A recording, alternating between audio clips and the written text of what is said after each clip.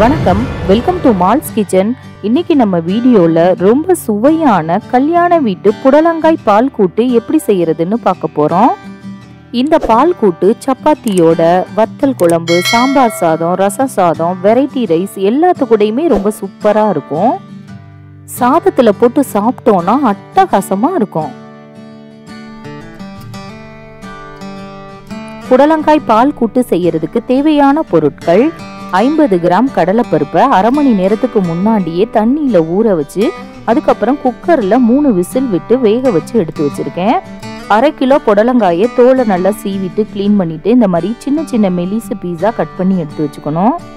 பொடியாக கட் பண்ண சின்ன வெங்காயம் பத்து பொடியாக கட் பண்ண சின்ன தக்காளி ஒன்று கீரின பச்சை மிளகாய் ரெண்டு ஒரு கொத்து கறிவேப்பிலை கால் ஸ்பூன் கடுகு கால் ஸ்பூன் உளுந்தம்பருப்பு கால் ஸ்பூன் ஜீரகம் கால் ஸ்பூன் மஞ்சள் தூள் கால் ஸ்பூன் மிளகாய்த்தூள் உப்பு தேவையான அளவு அடுத்து தேங்காய் பால் அரை மூடி தேங்காயை பால் ஆட்டி அதிலிருந்து முதல் பால் இரண்டாம் பால்னு எடுத்து வச்சுக்கணும். ரெண்டு ஸ்பூன் எண்ணெய். இப்போ நம்ம புடலங்காய் பால் கூட்டு செய்ய ஆரம்பிக்கலாம்.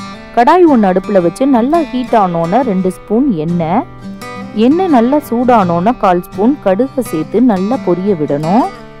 அடுத்து இது கூட கால் ஸ்பூன் உளுந்தம்பருப்பு கால் ஸ்பூன் ஜீரகம் கீரின பச்சை மிளகாய் ரெண்டு ஒரு கொத்து கருவேப்பிலையை சேர்த்து நல்லா பொரிய விடணும். இது கூட நம்ம கட் பண்ணி வச்சிருக்க பத்து சின்ன வெங்காயத்தை சேர்த்து நல்லா வதக்கி விட்டுறலாம்.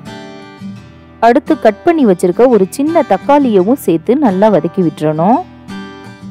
இந்த ஸ்டேஜில் நம்ம பொடியாக கட் பண்ணி வச்சிருக்க புடலங்காயை சேர்த்து புடலங்காயோட பச்சை வாசனை போகிற அளவுக்கு ஒரு ரெண்டு நிமிஷம் நல்லா வதக்கி விட்டுறணும்.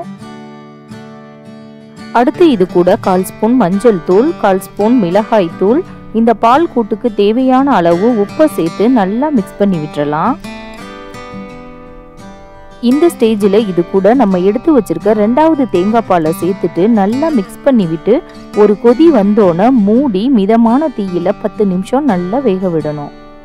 புடலங்காயை தேங்காய் பால்லையே வேக விடுறதுனால இந்த கூட்டு ரொம்ப டேஸ்ட்டாக இருக்கும். இப்போ பாருங்க புடலங்காய் நல்லா வெந்துருச்சு. இந்த அளவுக்கு குழஞ்சு இருந்தாதான் நமக்கு பால் கூட்டு நல்ல டேஸ்டா இருக்கும். புடலங்காயை அவாய்ட் பண்றவங்க கூட இந்த கூட்டை விரும்பி சாப்பிடுவாங்க. கடைசியா இது கூட நம்ம வேக வச்சு வச்சிருக்க கடலைப்பருப்பு முதல் தேங்காய் பால் எடுத்து வச்சிருக்கோம் பாருங்க அதையும் சேர்த்துட்டு நல்லா மிக்ஸ் பண்ணிவிட்டு நல்லா ஹை ஃப்ளேம்ல வச்சு ஒரு நிமிஷம் நல்லா கொதிக்க விடணும். இப்ப பாருங்க நம்ம ஆட் பண்ண கடலைப்பருப்பு தேங்காய் பால் எல்லாமே இந்த புடலங்காயோட ஒன்று சேர்ந்து நல்லா திக்காகி வந்துருச்சு. இந்த ஸ்டேஜில் நம்ம ஸ்டவ்வை ஆஃப் பண்ணிடலாம். ரொம்ப சுவையான கல்யாண வீட்டு புடலங்காய் பால் கூட்டு தயாராயிடுச்சு. கண்டிப்பாக எல்லாரும் உங்கள் வீட்லேயும் இந்த புடலங்காய் பால் கூட்டை ட்ரை பண்ணி பாருங்கள் இந்த வீடியோ உங்களுக்கு பிடிச்சிருந்தா லைக் பண்ணுங்கள் மறக்காமல் ஷேர் பண்ணுங்கள் நன்றி.